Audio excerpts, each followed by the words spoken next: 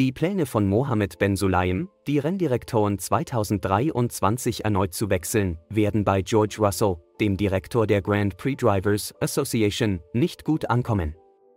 In der vergangenen Saison hatte die FIA nach dem Ausscheiden von Michael Masi im Zuge des kontroversen Finales von Abu Dhabi 2021 ein System rotierender Rennleiter für die Saison 2022 eingeführt. Nils Wittig und Eduardo Freitas teilten sich die Aufgaben, aber es war nicht ohne Probleme mit den Fahrern, die unzufrieden waren mit dem, was sie als Mangel an Konsistenz sahen. Hallo und herzlich willkommen bei F1 News. Abonnieren Sie unsere Videos, um immer auf dem Laufenden zu sein. Aus 2 wurde 1, als die FIA nach dem großen Preis von Japan und Pierre Gaslys beinahe Zusammenstoß mit einem Abschleppwagen bekannt gab, dass nur einer der beiden Rennleiter, Wittig, die Saison zu Ende fahren würde. Es wird jedoch erwartet, dass Wittig Freitas vor dem diesjährigen Grand Prix von Bahrain folgen wird. FIA-Präsident Ben Sulaim erklärte gegenüber Marca, dass ein Prozess im Gange sei, um einen neuen Rennleiter zu finden. Besser gesagt, Rennleiter Plural. Man kann nicht nur einen Direktor haben, fügte der 61-Jährige hinzu. Ich denke, dass wir eine zweite Option haben müssen. Wir können uns nicht gegenseitig vertrauen, denn was ist, wenn etwas passiert? Wir müssen auf alle Eventualitäten vorbereitet sein, wenn wir unseren Sport stärken wollen. Es ist unwahrscheinlich, dass das bei Russell gut ankommen wird.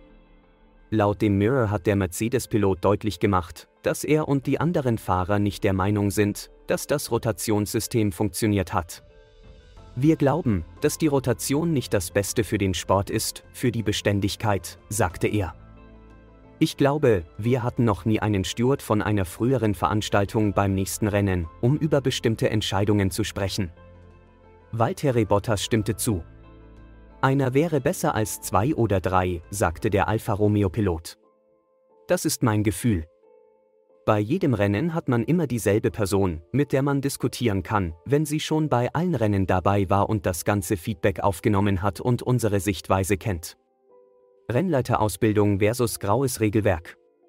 Im Jahr 2021 gab es in der Formel 1 nur eine Stimme, die als Rennleiter sprach, Michael Masi.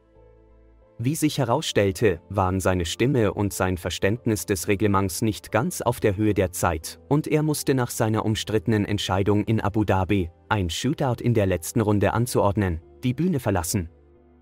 Ein Jahr später sprachen zwei Stimmen, Nils Wittig und Eduardo Freitas aber sie sprachen zu unterschiedlichen Zeiten, was dazu führte, dass beim großen Preis von Japan Freitas das Sagen hatte und beim großen Preis der USA Haas protestierte, wo Wittig das Sagen hatte.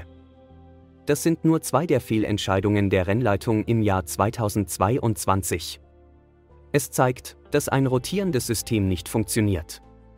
Was die Formel 1 braucht, sind erfahrene Rennleiter, die nicht nur das Regelwerk kennen, sondern auch wissen, wie es umgesetzt werden sollte. Aber Erfahrung gewinnt man nur durch, nun ja, Erfahrung. Ben Sulaim sagt, seine FIA sei damit beschäftigt, die nächsten Renndirektoren der Formel 1 auszubilden. Unser Team bildet sie aus, und ich verspreche Ihnen, und Sie nehmen mich auf, dass wir sie haben werden, was die Frage aufwirft, ob die beiden Vorgänger nicht in den Regeln der Formel 1 geschult waren? Leider macht kein Training die Erfahrung wett, vor allem nicht bei einem Regelwerk der Formel 1, das zum Teil in Grau geschrieben ist. Sind Sie mit Russell einverstanden? Lassen Sie es uns in den Kommentaren wissen und vergessen Sie nicht, F1 News zu mögen und zu abonnieren, um neue Videos zu erhalten. Vielen Dank fürs Zuschauen.